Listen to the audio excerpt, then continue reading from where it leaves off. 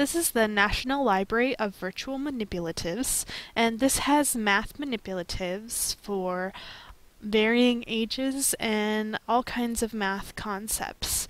For example, I want to show you a few in number operations for pre-K to second grade. You can see there's quite a list here of manipulatives for the kiddos. I want to look at the hundreds chart.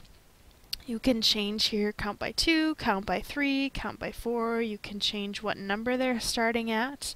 You can have the have it set to practice.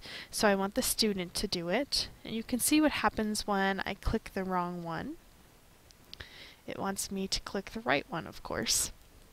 You can do show, where it just shows them all for the student, or you can do animate if you're doing that beginning practice get the students into counting by twos.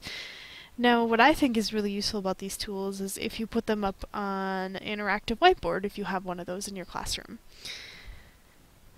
So that was one tool. Let's take a look at another one here.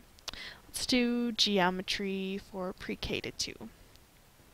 Geoboards. How many of you have used geoboards in your classroom? Now you can make them a uh, online tool instead of the physical tool. No more snapping rubber bands at people. So there you go. Easy as that. So there are lots of tools to explore on here. You can see for each section I've clicked on, there have been quite a few tools here. So something to explore and use in your math teachings.